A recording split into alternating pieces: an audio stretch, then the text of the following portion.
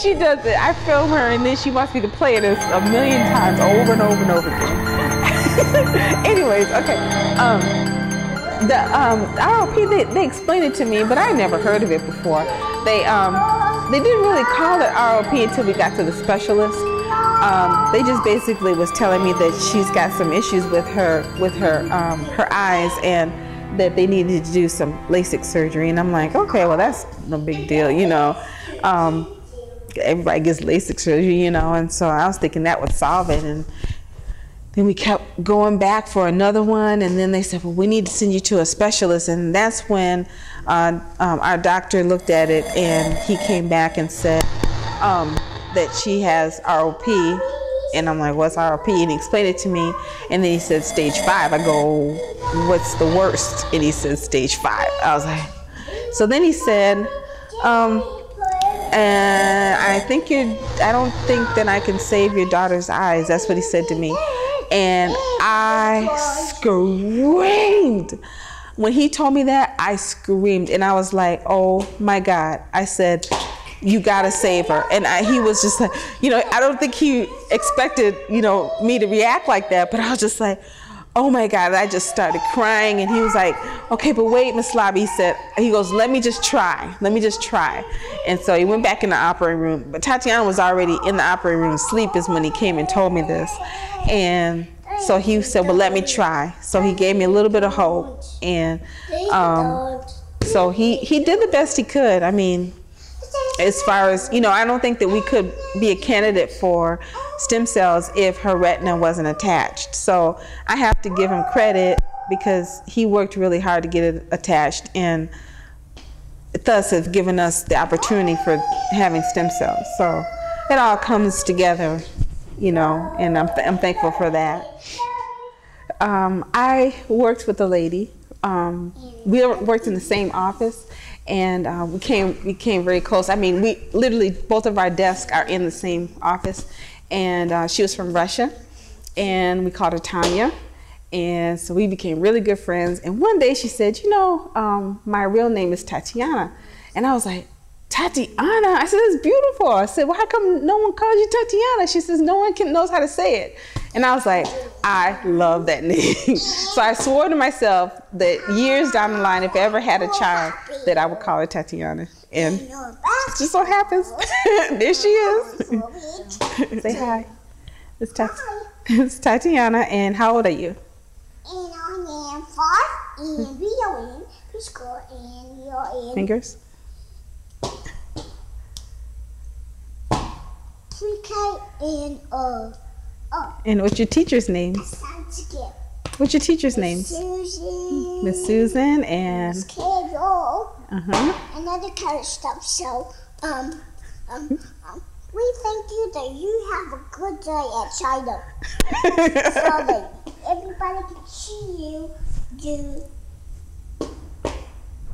But you gotta see this, that we all can see this. Mm-hmm. and then we're, and who else do we have here? Daddy. We have Daddy. Daddy? Daddy. Dad. Daddy's over here. Oh, I'm here. Daddy's here. Daddy's here with us in China. Mm-hmm.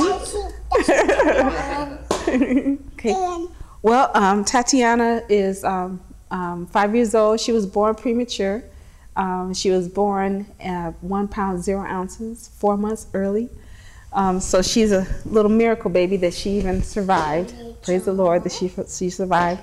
Um, and so she has everything okay with her. Checked out, good bill of health here, except um, um, she has uh, vision problems, which is um, they've diagnosed her with ROP, with the, which is retinopathy of prematurity, and um, she has stage five, which is like the worst.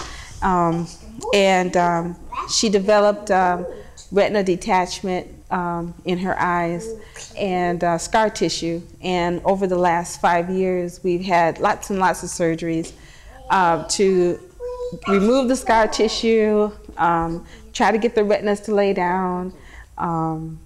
Let's see what else. We had to re remove her internal lenses um, to try and get the retina to attach. and so lots and lots of surgeries. Um, and so we finally got the retinas to attach. One in the left eye is totally attached, and the one in the right eye is partially attached. But I think throughout all these surgeries that we've had, um, the optic nerve got damaged because we just had to do so much work in there. That's my theory. I don't know. Um, and so Tatiana has light perception, and she can see, you know, if she walks in a room, if a light is on or off. Um, and she can, I think she can see silhouettes. It's kind of hard to tell because she's, you know, she's a toddler, but from what I can tell, she, I think she can see silhouettes, so she can see walls or um, people just so she won't bump into them. But as far as any detail, um, she doesn't see detail or anything like that. So, um, been asking the doctors, is there anything that can, else can be done? And basically, all they're doing now is maintenance. Um, every time we go to the doctor, we, you know, let me know if her retina's still attached. Yeah, okay, well that's good, but she still can't see. so um, um, they tell me there's nothing else that can be done, and so I just wasn't giving up.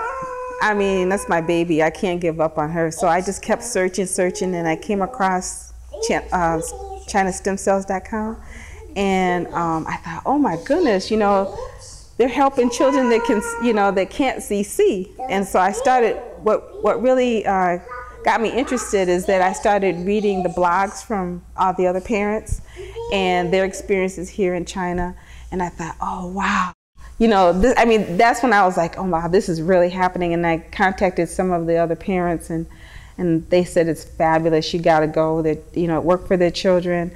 And so that was a year ago, almost to the day, to today, almost a year ago. I started my campaign to come out here to help her, and um, we we've been here since February 15th, and we leave March 10th, and um, it was a great it's been a great experience so far. Um, I, am finding this more common than than I, I thought it was. I never even heard of it before. Um, you know, when Tatiana was born, we had so many different kind of ailments to try and keep her alive. One one of which was to keep her alive, and then she had um, she was on a ventilator when she was first born, and she um, she had a hole in her heart, so she had to have that closed up. So we had surgery for that um, blood pressure problems, eating problems, breathing, just all a host of different things that we had to to um, overcome. And then they whopped me with this with the vision thing, and I thought, okay, well we'll just have LASIK surgery and it'll be all fixed. Wrong. That's not what happened. Um, um, it's pretty common. I think I don't know what it comes from. They say they say it's a lot of oxygen you get, too much oxygen when you, but then you know you have to have oxygen to live. So, I mean, she was she had to be on a ventilator for two months. So, um, you know, what kind of what do you do? You know, it's like, but uh, it is common they say with premature children that they have vision problems.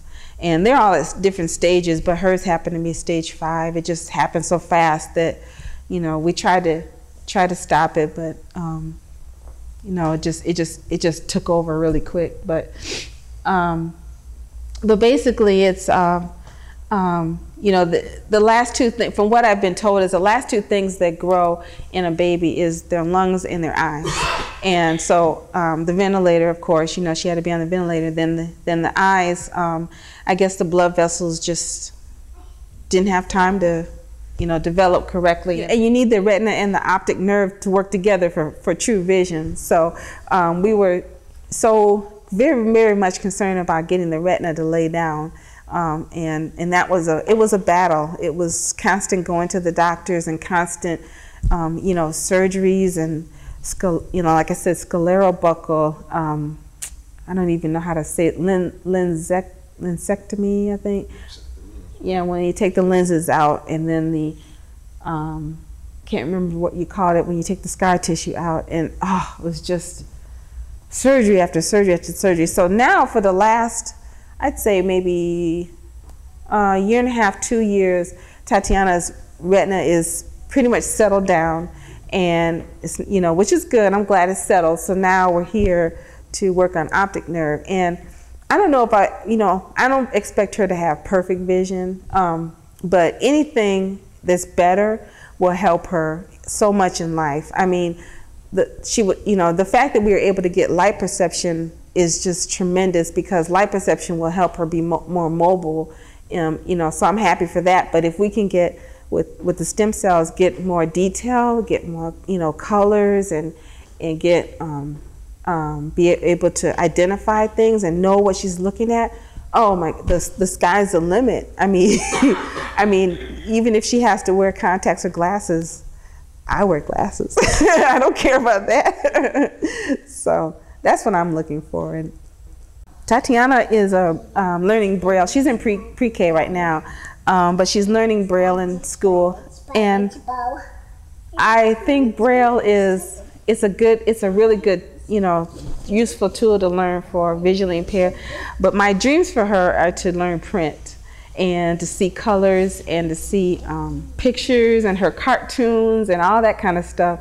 And um, so I I one day my hopes for her is to be able to to be able to read and um, to be able to um, see her cartoons, see pictures. She loves books and she loves to read, and and I would love for her to be able to pick up a book, read the book, and it even even if it's going to be large print, I don't care. but you know, just be able to pick up a book, read it, and and know see the pictures and get a smile on her face. That would that would warm my heart up so much because she she loves to learn. She loves school and um, and she loves books, and I think that's something that um, I think will make her grow into a really um, intelligent girl.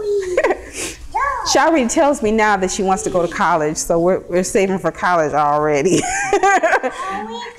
so, so she she's yeah, so she's a she's a uh, yeah, she says she wants to go to college. but um but right now i mean i have bigger goals i mean i hope one day she could drive a car you know um, but I, I try not to think about that too much. I, i'm just looking at the little things right now that would make her happy. And to see her cartoons what are your, some of your cartoons you like? Um, little bill. Yo gabba gabba. Yes, Gab Gabba. and what are some of your other ones?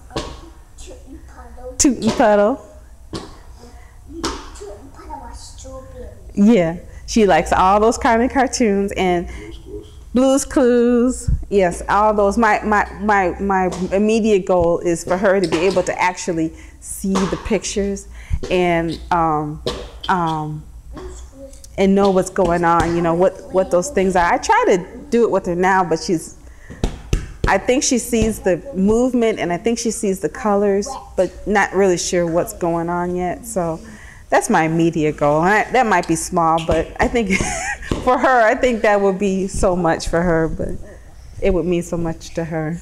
So, well, boy,